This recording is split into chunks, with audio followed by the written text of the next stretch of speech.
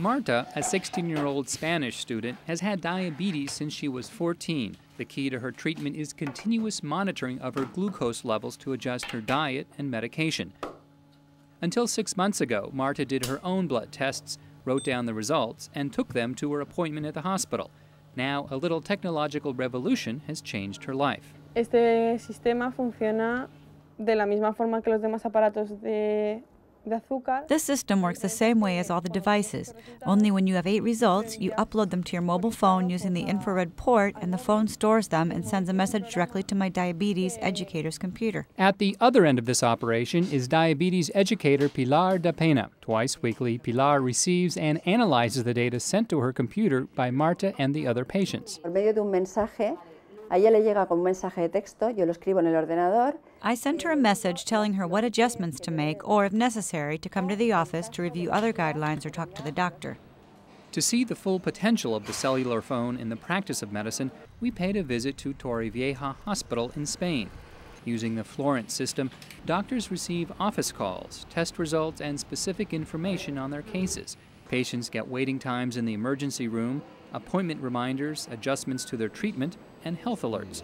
The administration monitors everything going on in the hospital 24 hours a day in order to be able to take immediate action.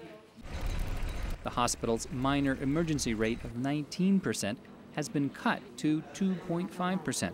In two years, this efficiency has saved the hospital many millions of euros and has built an excellent reputation among patients.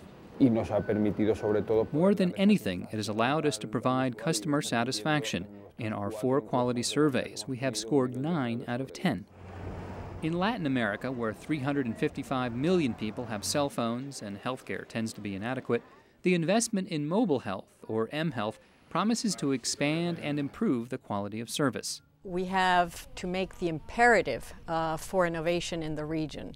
And uh, mHealth is part of the imperative of innovation that we need to make. Some of the areas that are already being tested or piloted in Latin America include, for example, in Nicaragua, where the MIT is working on a pilot experience to collect information using mobile telephony. Mobile health in five to 10 years um, will be a part of people's everyday lives. So the fact that your physician can send you a text message to remind you that you have an appointment on Thursday is actually saving the health sector millions of dollars. Spain's experience, where patients like Marta have gained convenience, safety, and speed in their treatment, represents an ambitious benchmark for the region and proves that mobile health has arrived to enhance the system's efficiency, savings, and coverage.